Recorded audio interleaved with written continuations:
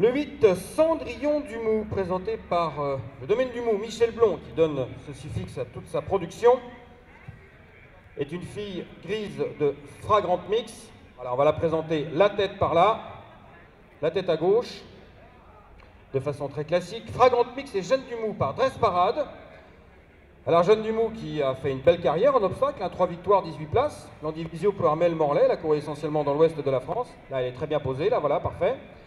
Et cette Jeanne Dumou était la sœur d'un cheval qui s'est rendu célèbre lui sur Auteuil, Olazuro Dumou, pardon, fils de Sleeping Car qui a fait une longue carrière à Auteuil, couronné par deux victoires dans les prix Ferdinand Orient et Vieux Refrain, également placé de l'Istade à l'occasion du prix Le Galès de Mésobran. Famille de Queens également et de Gamin Dumou. Pour le pas, top le pas.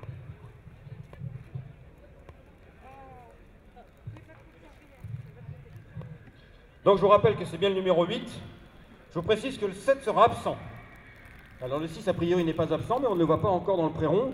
En tout cas, le 7 est lui euh, absolument absent. Le numéro 8, pour y revenir à cette fille de Fragrant Mix, qui a toujours euh, bien réussi, mieux réussi même euh, comme étalon ici, lorsqu'il était basé ici, ce Fragrant Mix dans le centre de la France, que lorsqu'il était basé dans l'ouest. On a pu remarquer d'ailleurs il y a une vingtaine d'années que ce type de croisement entre des chevaux très énergiques, comme Viderock par exemple, eh bien fonctionne. Fonctionne tout particulièrement avec la jumenterie du centre. Alors aujourd'hui on ne parle pas de la Nièvre, ni de l'Allier, ni de la Saône-et-Loire, on parle du centre puisque ce concours est organisé par l'Union du Centre-Est.